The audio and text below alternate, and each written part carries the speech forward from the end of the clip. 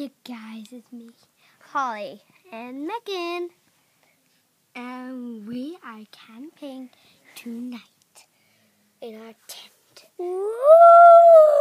Look, we've made a den here so we can go down. And we've got our own porch. It would be lovely in here if you came. We're gonna tell, I'm gonna tell Megan and you a ghost story. But it's not gonna have a video. Okay, once upon a time there was a little girl called Megan, and she was going on a mission, and she seen a scary thing came up into her face. Ah! A zombie.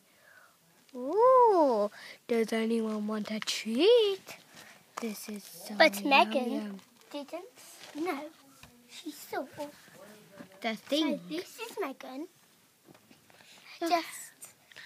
Ooh. Ah. I should run away. and she and it was and when she got behind the corner the zombie came and said boo you can't get away from me i've got the magic tattoo of love and learning so i never have to I run I i can just click my fingers and kapoof i'm there waiting for you and then megan ran round to her house, and in the porch was Zombie Law. You can't get away from me, Megan. You know that.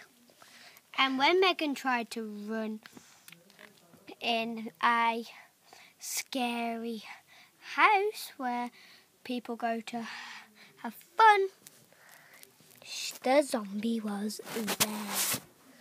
So doomed. Ah, I'm stuck. And then Megan got finally away past the zombie trap, so the zombie can't get there. The end. Hi guys, it was me, Holly, and look at my awesome tent. And And it was me. Hello. and basically our theme was ghost and freestyle. So I hope you enjoyed our skit and the den is humongous. It's probably it's a whole bunk bed covered in cloth and then there was a little porch.